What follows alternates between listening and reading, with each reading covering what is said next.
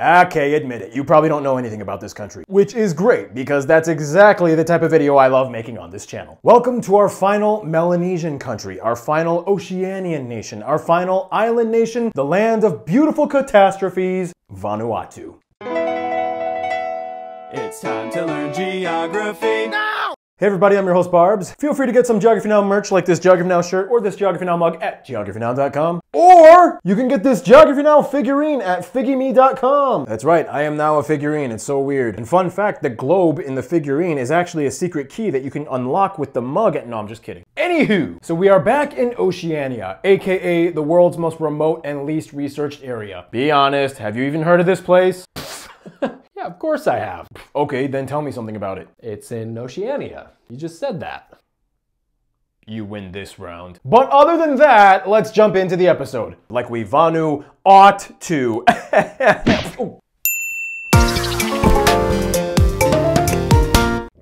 this is the worst coffee ever. I was desperate and I was in a rush and I got the instant stuff. It's ugh, whatever. So, as you'll soon see, Vanuatu has a very unique way of administering itself, and a lot of it has to do with the weird mixture of culture, history, and eh, extreme danger. But we're getting ahead of ourselves. Let's first jump into the motion graphic, shall we? First of all, the country is located in the geographic subregion known as Melanesia, which extends all the way from the island of Papua, split between Indonesia and Papua New Guinea, shielding the entire northeast coast of Australia, ending with Norfolk Island and Fiji. The country is made up of 82 islands, stretching about 540 miles, 870 kilometers, from Hiu Island in the Torres Island chain up north to the southernmost island, Anatom. Some people dispute that the Matthew and Hunter Islands further south technically should belong to Vanuatu, but today they are under the jurisdiction of France's New Caledonia, just further southwest of them. Also, you can remember it's Vanuatu because the islands kind of make up a V shape. Eh, technically a Y, but whatever, close enough. In any case, of the 83 islands, there are only 14 of which that have a surface area over 100 square kilometers. The largest three being Espiritu Santo, which the locals just call Santo, followed by Malakula and Efate, which, by the way, the country's capital and largest city with about 50,000 people is Port Vila, located on Efate Island. Otherwise, the second largest city with about 20,000 people is Luganville in Santo Island. The country is divided into six provinces made up of certain island clusters, and the name of each province is a portmanteau of the initial letters of the main constituent islands that make them up. For example, Shefa is the Shepherd Islands, and Efate. Penama is made up of Pentecost Island, Ambae, and Maewo, and so on. Of the 83 islands, 65 are inhabited, and there are about 30 airports and airstrips throughout the country, reaching every province. The largest and busiest airport is, of course, Port Vila's Bauerfield International,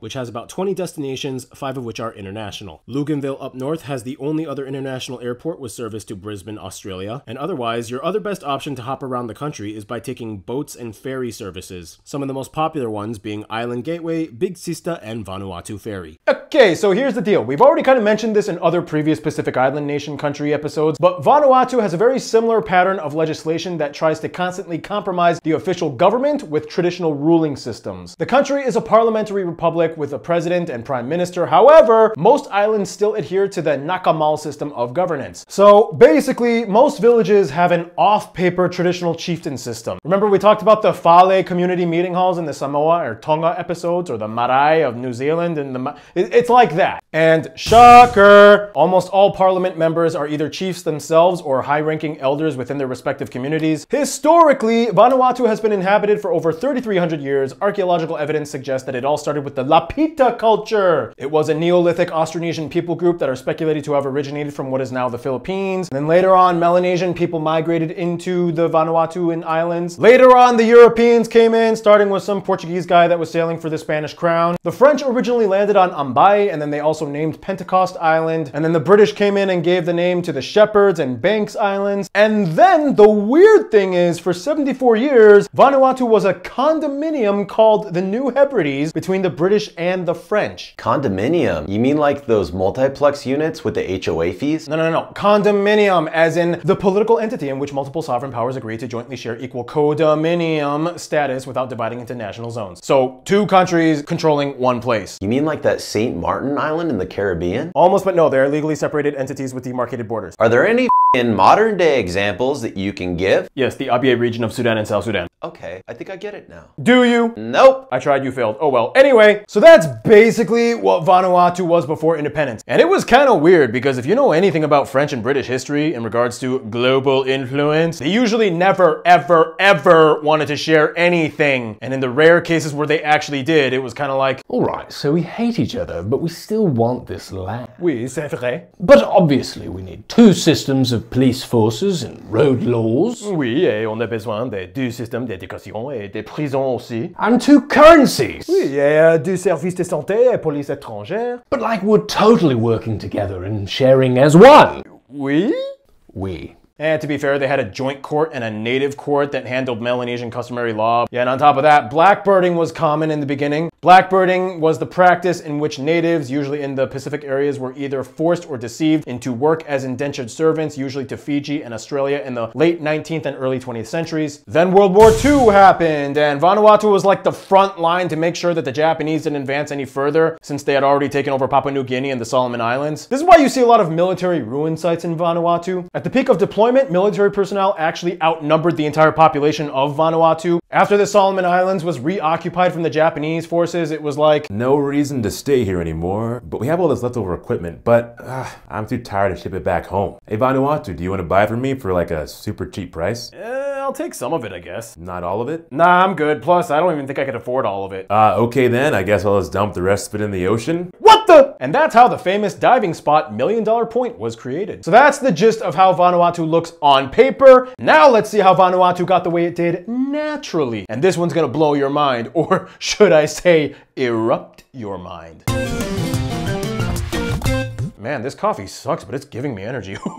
So imagine a colorful ballerina, beautiful and radiant, that suddenly gets hit by a cement truck and then the truck explodes and drowns in the river. But the ballerina somehow keeps surviving and puts the tutu back on and dances. That's basically Vanuatu, a country laden with lush, vibrant landscape and nature, yet almost every conceivable mother nature catastrophe besides blizzards has been able to successfully strike Vanuatu. And in a weird way, that kind of plays into their culture and daily lives. But first, let's look at the motion graphic, shall we? First of all, separated between the Coral Sea and the Pacific Ocean, Vanuatu sits on the aptly named Vanuatu or New Hebrides Trench, part of the larger New Hebrides Plate, which is a part of the larger Pacific Plate. It is a subduction zone in which the Australian Plate subducts under the Pacific, making it a part of the larger Ring of Fire, hence making it one of the most volcanically active areas on Earth, which of course is how the islands were formed. This also means earthquakes are not uncommon. About 2,000 seismic events are reported annually, although most of them are less than 5 on the Richter scale. This also means, because the islands are formed from volcanism, there isn't much of a continental shelf and most shorelines drop rapidly into ocean depths or are rocky with fringing reefs. About half of the country is mountainous and the tallest peak, Tabwemasana, is located on Santo Island, as is the longest river not far away from the peak, the Jordan River, which meanders through the hillsides for about 26 miles, 41 kilometers, until it dumps into the Big Bay. The country has some decently sized inland bodies of water, most of which are confined to the calderas of dormant volcanoes, like the largest lake of the country, Lake Letas, located on Gaua Island up north. Speaking of which, there are several active above and underwater volcanoes in Vanuatu, many of which you can see clearly from satellite imagery. The largest of these is the Marum volcano on Ambrym Island, which has two massive calderas and a third smaller one, all with beautifully rich dark lava flowways oozing down the sides of the peaks, entangling themselves in the lush green jungles below. On top of that, Vanuatu is in the dead center of the South Pacific El Nino oscillation zone, in which cyclones are likely to develop and hit any landmass in the way. So, yeah, there's that too. But yeah, for what it's worth, to this day, Vanuatu is labeled as the most at risk nation in terms of experiencing natural disasters on Earth. As you can see, oftentimes Vanuatu can get bombarded with volcanic eruptions, which in return can be accompanied by the occasional earthquake, which in return can cause tsunamis, which would be terrible if happening during a cyclone, which in return can cause a flooding, which in return can cause things like mudslides. And in the rare chance they all happen at the same time, you would be witnessing a Volquick Nami floodslide clone. In any case, uh, as you know, it's time for my triple shot of espresso break. Not sure if I even need it because this is good enough as it is. But that means now it's time for Noah to fill in for the rest of this segment. Take it away, Mr. Noah.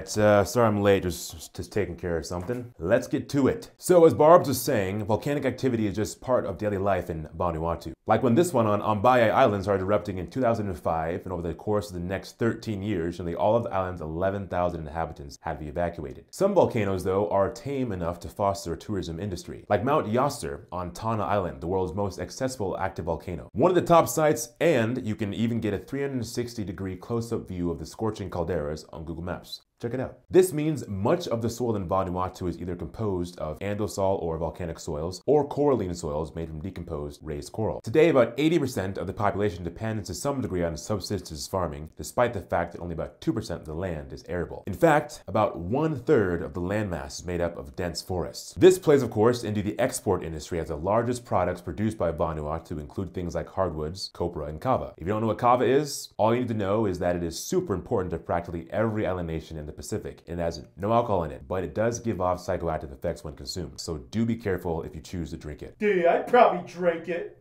Okay, Barbs. In any case, Luganville, the second largest city, handles about two thirds of all exports leaving the country, whereas the capital, Port Vila, is the opposite and handles about 85% of all imports. Surprisingly, one major industry that is speculated to possibly provide somewhere up to 30% of the country's revenue, well, it has to do with, you know, well, we've talked about it in some of the Caribbean episodes. You mean citizenship by investment?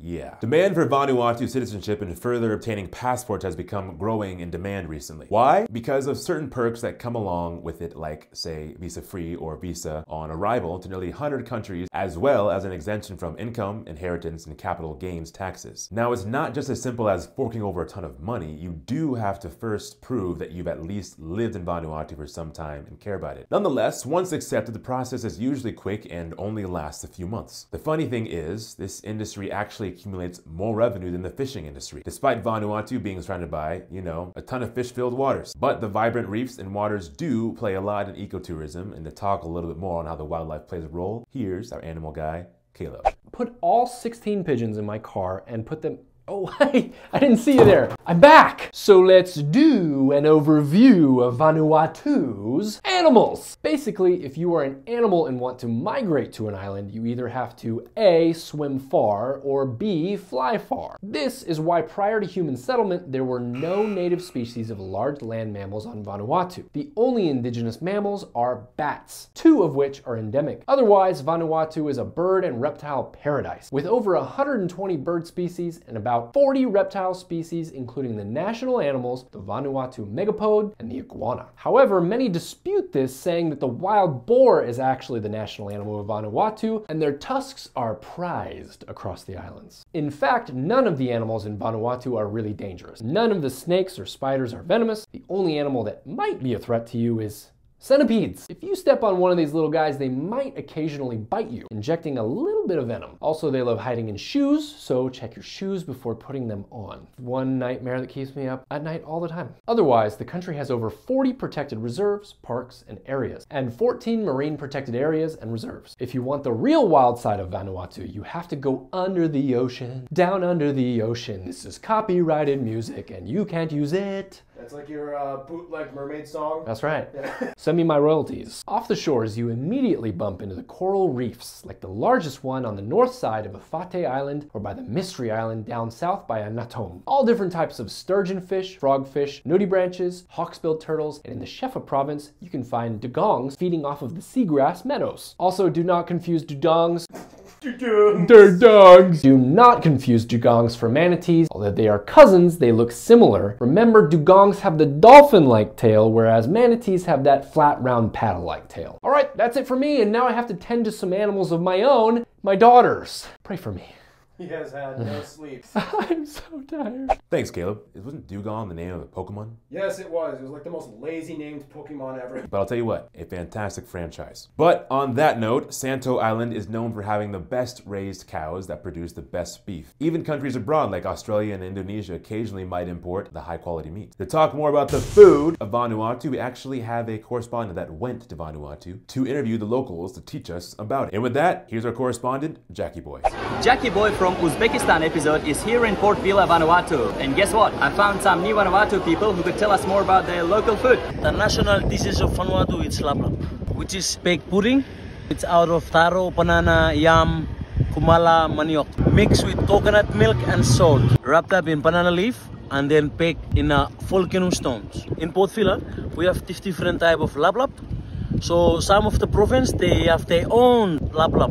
Lap lap is usually sold with different toppings, like uh, seafood, chicken or beef. We also have simboro, which is a steamed roll of grated yam, manioc, banana or taro, wrapped up in cabbage, covered with coconut milk.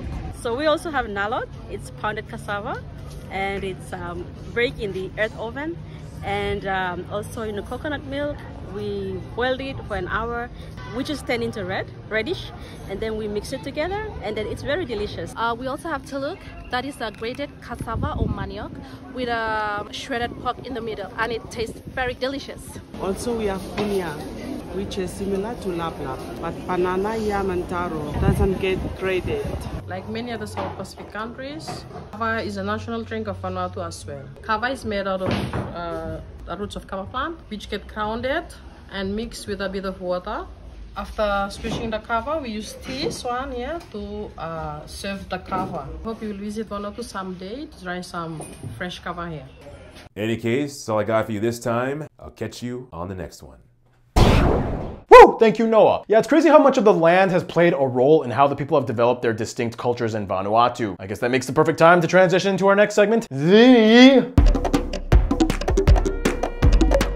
So, quick distinction alert. A Vanuatuan is a citizen of Vanuatu, regardless of race or ethnicity, and a Ni Vanuatuan is a Melanesian person native to Vanuatu. You'll hear this word a lot when over there. And what exactly is a Ni Vanuatuan person? We'll explain all of that and a little bit more in a bit, but first, the motion graphic. First of all, the country has about one third of a million people and has the highest density of languages per capita in the world at somewhere around 130. At about 97%, the country is primarily inhabited by Ni Vanuatuan peoples, that is, native Vanuatuans that are of Melanesian descent. They are divided into somewhere around 80 to 100 tribes, depending on what you label a tribe, most with their own oceanic language. From there, about 1% of the country are mixed Ni Vanuatu, and the remaining 2% come from other groups, mostly Europeans and Asians. They use the Vanuatuan Vatu as their currency, they use the type I plug outlet, and they drive on the right side of the road. Which is interesting considering that literally all the people surrounding them, except for New Caledonia, drive on the left. Big Australia, even the closest Melanesian cousins, they all drive on the left. It's crazy. And uh, speaking of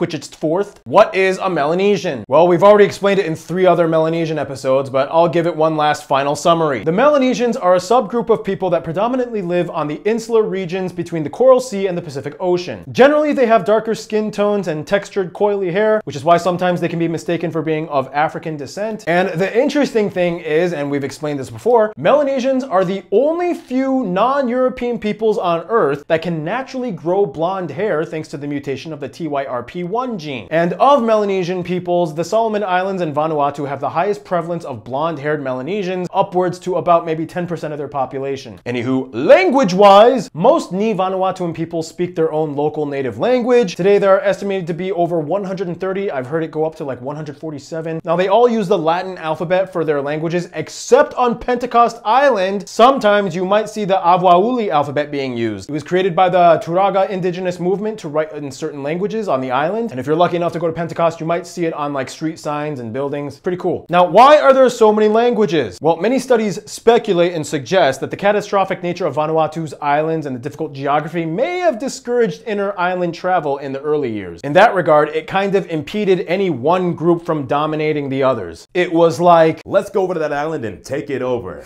Okay, maybe not that one. How about this? Nope, definitely not that one. You know what? I'm just gonna stay home. Never mind it. So then that begs the question, with everyone initially isolated and speaking different languages, how do they all communicate collectively? Well, due to their history of being a British-French condominium, both English and French are official, but they're only used as a first language by less than 3% of the country, which means the third official language is used as the predominant lingua franca between the islands. Ladies and gentlemen, I present to you Bislama or Bishlama. Now, what is Bishlama? It's basically a 90 plus percent ish English vocab Melanesian grammar based Creole language. And it's interesting, like if you're a native English speaker, you may be able to understand about half of it if you listen really carefully. And to explain a little bit more, here's one of our geography peeps to talk about Bishlama. Bislama is a pidgin English. You will hear plong and long used a lot. Plong is used to indicate possession. Long is used as a preposition. For example, name plong mi Cristela. Become long place, long explainem languagea Bislama. There are also a number of French words in Bislama too, such as Lafet, Safet for knowledge or ability, and Sayed, which means that's it. So you can ask, you sabe tok Bislama? Thank you Blalanam small Bislama. Look at you.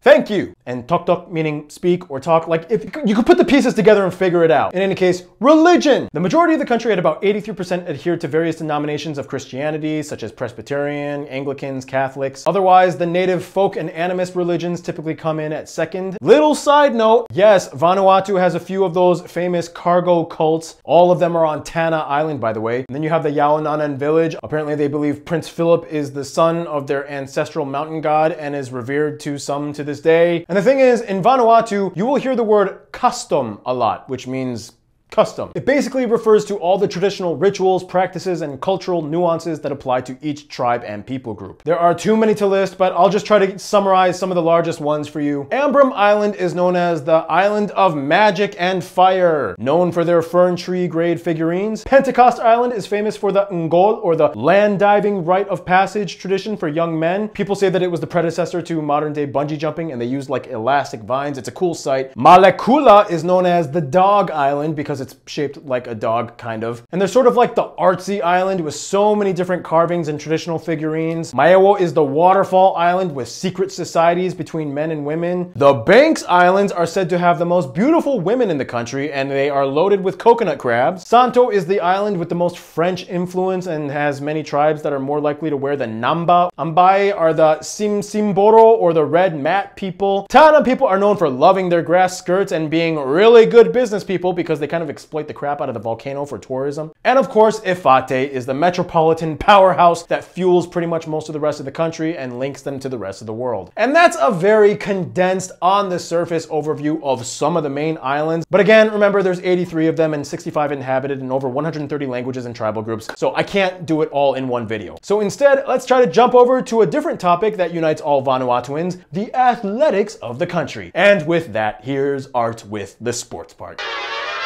And we're back with the sports part in a shirt that is tighter than Paul's budget. He's li that's literally from my wardrobe. So in regards to sports, every island has its own traditional form of recreation and sport, such as Takalo, a traditional form of stick fighting popular amongst numerous islands. Their most famous event where you can see these traditional sports would probably be the Nalawan Festival, where you can see spear throwing, tug of war, and canoe racing. Oh, you did canoe racing? No, I was in summer school, it was summer camp. And I remember, do not try to push the paddle down because it'll snap right back up and it hit me in the face. I remember that I was like five years Blue marlin fishing is also widely popular, especially among the more wealthy peoples, as is the Kiwanis horse race. In fact, they have the Vanuatu Island Relay in which they go around the entire island of Efate. Granted, they do have National Sports Federation teams like cricket, rugby, volleyball, and football, and they have their own local competition called the Interprovincial Games in which islands compete against each other. Otherwise, there are four main sporting facilities on three islands, Korman Stadium, Lamanu Stadium, Luganville Soccer City Stadium, and Port Vila Municipal Stadium.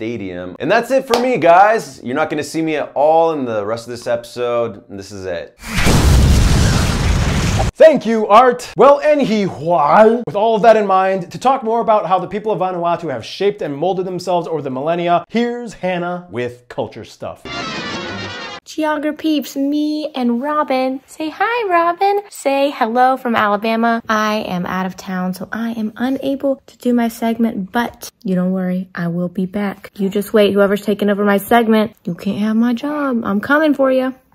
Hey everybody, it's me Hannah from Alabama. I'm here to do my part about culture and stuff. All right, yeah, no, uh... That was terrible. So Art's gonna fill in. Vanuatu's Melanesian culture is very unique in that much of it plays off of the geography of their islands. For example, early settlements were usually built inland and not on the shores. Some would say it was to maybe avoid mosquitoes, maybe because it was closer to the obsidian or volcanic glass deposits, which was valued and used as currency sometimes. Times. Another tradition that seems to span many islands, the art of sand drawing, which is actually a complex form of storytelling that intertwines geometric figures representing characters or parts of a story. When completed, it forms a large pattern image. In fact, art, like myself, takes on many forms, and usually it's played a very spiritual role. For example, the Rambaramp effigy figurines and Malakula, they symbolized a person who passed away and often the skull of the deceased was on it. If the skull was not available or used, they would substitute with an overmolded skulls made from plant plaster, as it was believed the skull was where the soul resided. On many islands, you'll probably see gradewood figurines made of fern trunk. They were believed to serve as the temporary home for spirits. Ceremonial masks take on many forms as they were believed to do certain things like summon the presence of ancestors or help with harvest. Just keep in mind, although they do look beautiful, they're mostly not intended to be souvenirs. They're treated like spiritual relics. If you do want a souvenir, maybe you can go look into getting a beautifully carved pudding knife, dish, or yam pounder. You know, I've been wanting to get a yam pounder for a while now. Yam pounder, bro. You always take my scripts and do this, Art. You can also get a stamp staff, canoe prow, weaponry like clubs and spears. But keep in mind, there is a war club and a pig killing club, so don't get the two mixed up. In fact, the Navari pig is the most prized animal of Vanuatu, valued for its meat and used in ceremonies to this day. And yes, pigs are often traded as dowry gifts for weddings. Some people are, you know, given a coffee machine or juicer during a wedding, but these guys are given pigs. What would you prefer, a coffee machine or a pig? I mean, uh, I'm curious. and speaking of art, not me, definitely watch the movie Tanna. It's based on a true story that is the first movie completely shot within Vanuatu. The entire cast is of native descent, spoken in the Nafe language. It was nominated as the best foreign language film for the 89th Academy Awards. Vanuatu is a haven for festivals and celebrations. Each tribe and people group has their own unique one. The Masculine Canoe Festival, the Back to My Roots Festival, the Big Bay Festival in Santo, the St. Andrew's Day Festival, and the Toka Festival on Tanna Island. And to talk more on the Toka, it's probably appropriate to go to Mr. Florida Man Keith on this one. Take it away, Keith. Me, Keith. So I guess Hannah's also not in this episode, so whatever. Who cares? Um, alright. Woo! So in Vanuatu, they call traditional music sing, sing, or kastom tanis. It means to sing. And in traditional music, there is a heavy emphasis on percussive instruments like rattles and uh, bamboo stomping tubes. That's kind of cool. Some tribes, especially in the south, use conch shells as horns. Uh, you can find bamboo flutes, but the most popular instrument you'll see shared on many of the islands is the slit drum. Nobody knows who started the whole slit drum thing. They all kind of just piggybacked off each other and started doing it. You have the woman on the Banks Islands doing their famous water dance. Uh, basically, they step in uh, shallow waters and hit, slap, and splash the water in specific patterns while singing. It's super popular. There's documentaries on it. Go check them out. I think there's even one on Amazon Prime. You have the sea snake dance of the Ra and Motalava Islands on Tanna Island. They have some of their most colorful performances with a the toka dance, and uh, which, by the way, can last for days. One of the most famous dances, though, would be the Ram dance. Some even consider this as the national dance of Vanuatu. Today, the more popular styles you will probably hear across the country include reggae, zuka, pop, ocean beats, and hip hop. Remember to support the local music. Uh, Vanessa Quai is like the current queen of pop, I guess.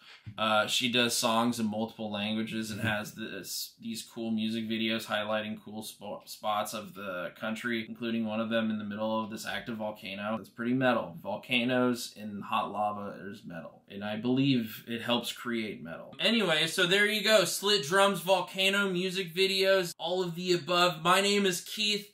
I am almost as Florida as Fred Durst. All hail Fred Durst. And also all hail Vanuatu. I'll see you later. Peace. Woo! Thank you, Keith. Man, making a music video in an active volcano, that's. Vanuatu clearly has a lot going on within their own domestic sphere, but they also have a lot going on in their outer sphere. So let's discuss that in the next segment, the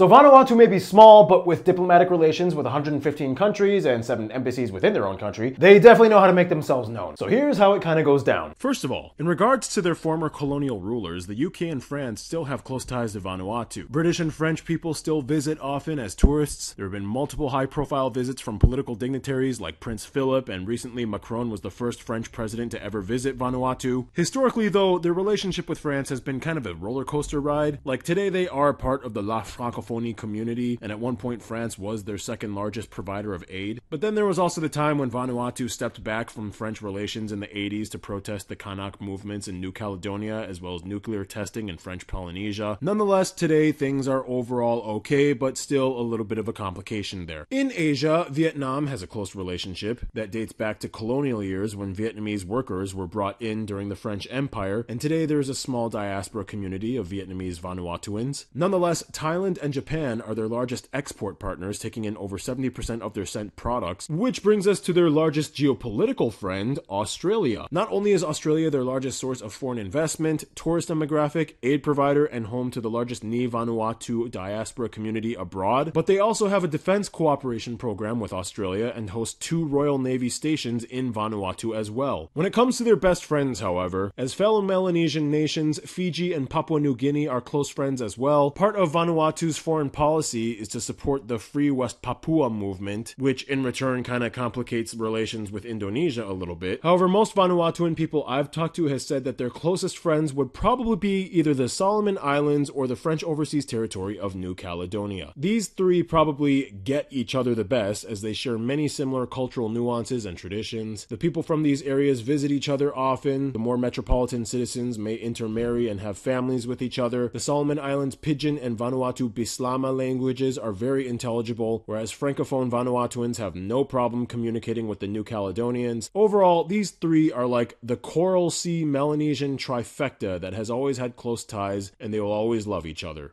So in conclusion, Vanuatu is a beautiful Melanesian paradise that just kind of comes with a little asterisk of precaution in case if you know some natural disaster might happen. But otherwise, come and visit it if you Vanu want to.